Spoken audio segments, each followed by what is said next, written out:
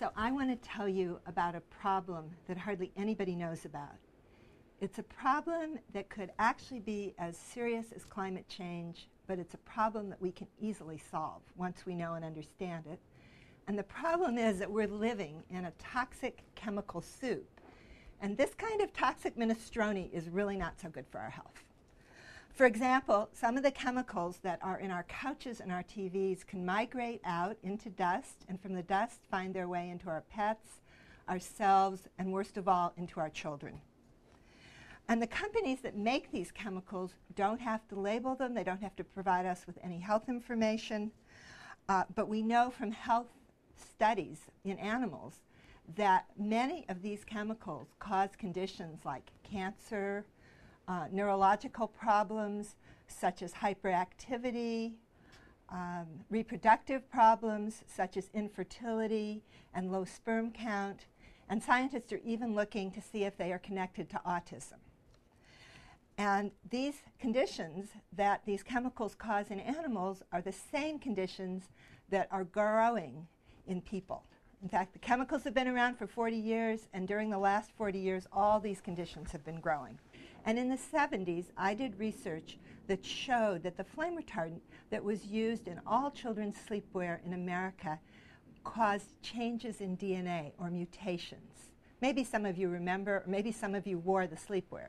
The chemical was called tris, and we also found that when children wore pajamas with that sleep with that chemical in their sleepwear, the next morning their urine contained a breakdown product or metabolite that was known to cause cancer. Can you believe that? And we couldn't believe it either. So we wrote a lead article for Science magazine, and three months later, Tris was taken out of children's sleepwear. Yay! However, the same Tris that was taken out of children's sleepwear is today back in our couches, in our furniture. And that's really hard to believe. And another problem is chemicals like the tris. They migrate out of our furniture, as, in, as I said, into our pets' bodies, our bodies, worst of all, our kids' bodies. And then they end up in the soil, the ocean. Uh, they make their way back into the food chain, and they accumulate the, into creatures at the top of the food chain.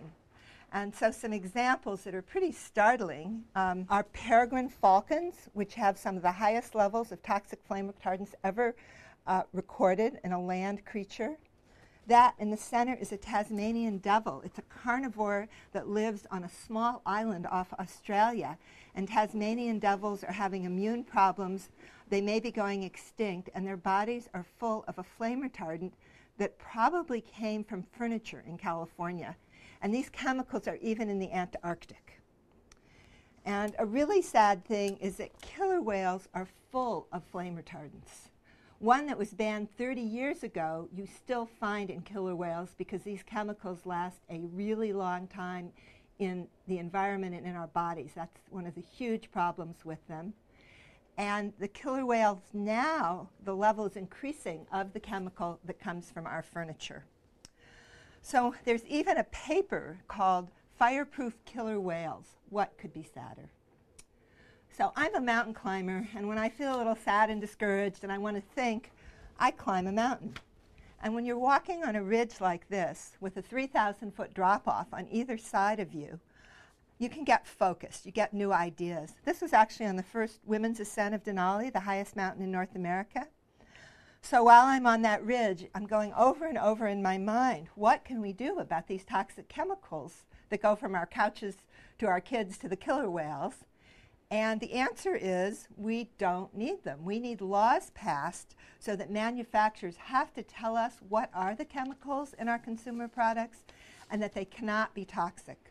We've got to demand no more toxic chemicals in our computers, our couches, our TVs, and that way the chemicals won't up, end up in our cats, our kids, or the killer whales. We need to get out of the toxic chemical soup, and I believe we can.